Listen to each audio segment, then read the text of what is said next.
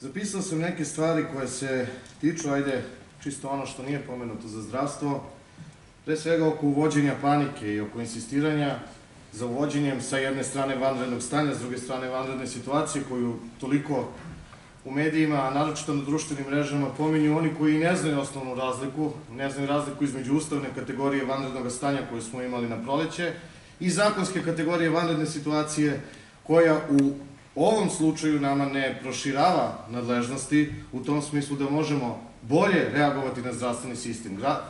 Grad, uprava, odnosno lokalna samouprava i krizni štab i bez uvođenja vanredne situacije pomaže i Zavodu za javno zdravlje i Domu zdravlja i bolnici. I zbog toga ja ne vidim nikakav razlog da se onaj drugi deo psihološkog efekta koje je doktor Raša pomenuo, a to je i izazivanje panike kod određenih građana kada čuju za vanrednu situaciju. Svako drugačije poima ovaj, određene reči, a mi mislimo i tvrdim lično da je nama mir, pribranost i naravno empatija prema onima koji su zaraženi, ali empatija i prema zdravstvenim radnicima sada preko potrebna. Ukoliko se svi damo u paniku, nećemo dobro proći, to smo više puta na svojoj koži osetili. Kada govorimo o zdravstvu i o ulaganju u zdravstvo, niko nije pomenuo da se naša bolnica rekonstruiše, da je tender sada prošao i da sledeće godine možemo očekivati kapitalnu investiciju koja 30 godina nije ovaj, bila u zdravstvu kod nas. Što se tiče hitne pomoći, verujem da znate da smo dobili ili smo na pragu dobijanja građevinske dozvole sa nekim e, predračunom otprilike, kažem, oko 110 miliona dinara, dakle, radimo na toj hitnoj pomoći kao, kao što smo ovaj, i, i govorili i to je jedan od kapitalnih projekta koji, koji treba da, da, da se realizuju.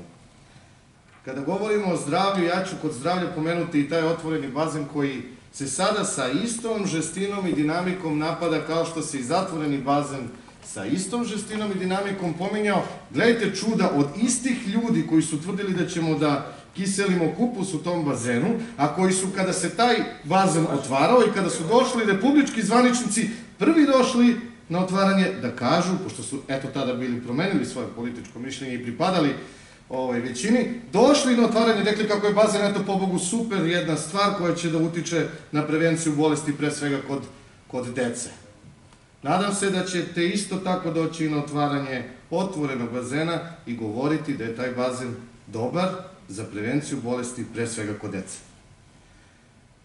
Kada govorimo, moram da odgovorim na neka pitanja koja sam čuo, kada govorimo o nekakvom drugačijem metodu za oporezivanje mi smo sa, jel tako, usvojili uh, odluku o uh, osnivanju komisije i u toj komisiji je predsednik komisije, a izvinite ako grešim, gospodin koji pripada odborničkoj grupi najbolje za Pirot. Dakle, vi kritikujete komisiju gde imate svog predsednika i kažete niste mogli da nađete ili nisu, nisu oni mogli da nađu rešenje. Tragaćemo za tim rešenjem, ukoliko ga nađe komisija, ja mislim da će ga da će ga ova Skupština podržati. Kada govorite o javno-privatnom partnerstvu, interesantno je da vi već znate ko će dobiti status privatnog partnera, a mi nemamo ni poziv. Ako ga znate, a rekli ste da će to da bude neko iz vladajućeg, slobodno kažete, da, da znamo i mi. Dalje, kada govorimo znači, o Temskoj i o vodi, Znači, ipak sam ja neko čije je srce isto tamo.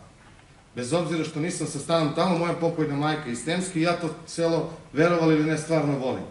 Kada kažete da niste videli ni jednog iz vlasti u Temskoj, ja se izvinjavam, kada god budem došao, a idem vikendom, ja ću se vama javiti. Evo, u nedelju sam bio sa isto pomenutim Tomislavom Pančićem i Bratislavom Zlatkovim iz turističke agencije, gde smo, gle čudo, određivali lokacije za turistički mobilijar od Krivog vira pa do centrala. Javit ću se sledećeg puta, ovo, ovaj, izvinjavam se što se nisam javio. Kada govorite o ispravnosti vode, kakvu vodu pijemo, to je krucijalno pitanje za sve nas. A šta ulažemo u vodu? Koliki su računi za vodu? Postoji zakonski propis koji kaže da svi seoski vodovodi, odnosno vodovodi pod ingerencijom mesnih zajednica, treba da dođu ovaj, pod sistem vodovoda. Neki to ne žele, zato što misle da je skuplji kubik vode e, 50 dinara od kubika vode od 30. Logično da je skuplji. Ali račun za vodu nije bogaćenje vodovoda, već i račun za vodu investicije u održavanje vodovoda. Vodovod ima obavezu da preuzme seoski vodovod, kada to meštani odluče. I ja vas pozivam da svi zajedno odlučimo. Ko je kriv za pun kanal ovaj, u Temskoj? Vodovod? Gradska uprava? Ili možda neko drugi? Ne, ne znam, ja pitam.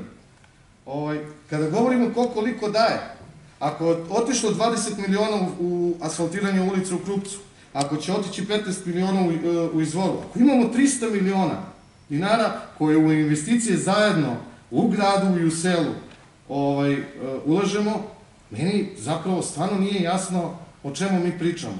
Hvala vam što ste pomenuli, mislio sam da ćete zaboraviti da pomenete put od Pirota do Temske.